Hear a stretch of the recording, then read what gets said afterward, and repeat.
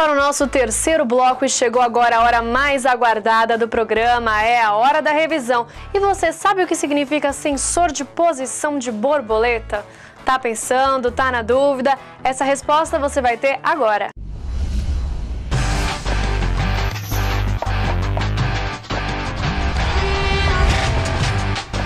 Olá, aqui é Luciano da empresa LP. Vamos falar um pouquinho do potenciômetro de borboleta do tipo, tipo Golf, Córdoba, Peugeotzinho.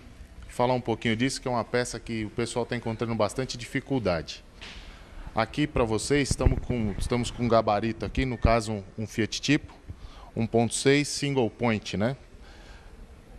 Já onde tem uma peça nossa aplicada, que eu vou mostrar para vocês aí mais ou menos a, a regulagem desse potenciômetro. Então, como pode analisar, estou com um multímetro aqui, que é justamente para mostrar que com o auxílio do multímetro, que ele tem que ter uma corrente de 5 volts. Vocês vão ver que no scanner ele está batendo todas as regulagens, no caso aqui da borboleta, que marcar 3.2. Na verdade, de 2 a 5, né? que seria o ajuste mínimo aí para um bom funcionamento. Então deixa sempre um pouquinho acima do mínimo, 3.2 ou 4 é o ideal aí para esse, esse ajuste. Mostrar para vocês aí o, o detalhe do corpo, que aí seria no caso onde entra a garrinha, né? Essas travas aqui, a nossa peça não, não é necessário remover. As do, dos concorrentes, sim. Vocês vão ver que ela tem a base aqui, que é uma base lisa. Então ela acaba arranhando nessa parte do corpo. A nossa não, a nossa tem um recuo. Junto com a nossa embalagem aqui, segue um manualzinho de instalação.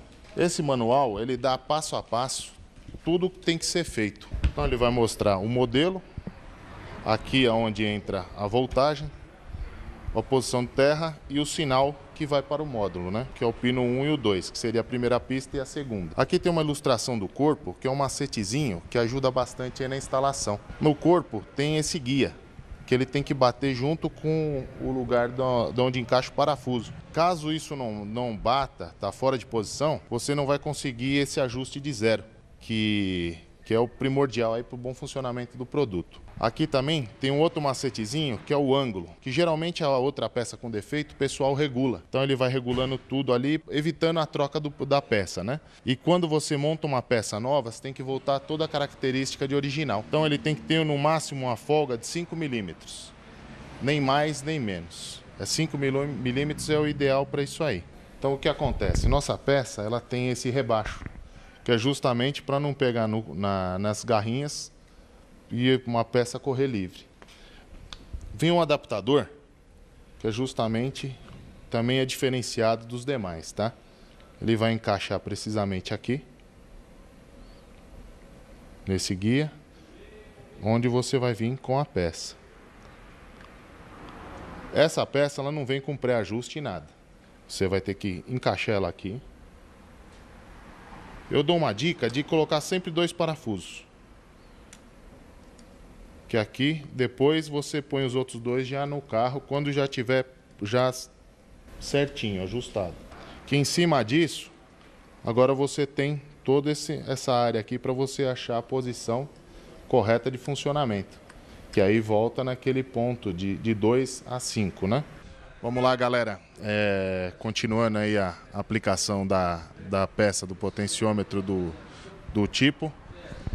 No multímetro, vocês vão ver que vai marcar de 200 a 270 milivolts, que aí seria a, a indicação correta aí para aplicação. Como eu disse, é dois parafusos para uma pré-regulagem. Com esse pré-ajuste você já pode travar a peça e fixar o corpo no veículo. Assim fica mais fácil aí o manuseio, né? E um ajuste afino posterior. Vou marcar, mostrar para vocês agora a, a, regulagem do parafusinho, aquela de 5 milímetros, onde o pessoal geralmente aí corrige a outra peça antiga para o funcionamento. Esse é o famoso parafusinho que o pessoal acaba corrigindo a, a peça defeituosa para ela sair daquela faixa que ela não está fazendo mais a leitura. Então, geralmente, o povo abre ela para 7, 8, até uns 10 milímetros. A regulagem correta, com auxílio do paquímetro, tem que ser 0,5. Então ajustou 0,5, vamos lá. Aqui também, potenciômetro, prestar bastante atenção no caso aqui do atuador de marcha lenta. Ele tem que estar sempre recolhido, igual esse daqui. Por que isso? Por causa do contato de mínima. Contato de mínima é essa pecinha aqui, essa parte mais mole aqui do atuador. É essa parte aqui que manda a resposta para o módulo, falando que deu final de curso. Então ela bate no contato de mínima, então ela avança ou recolhe, no caso do atuador de marcha lenta. Então pessoal, agora mostrar para vocês aí o funcionamento do multímetro. Sempre na carga ômica, dá uma olhadinha lá, 223 ou de 200 a 270, tanto faz essa medida. Dentro desse parâmetro a peça vai funcionar bem.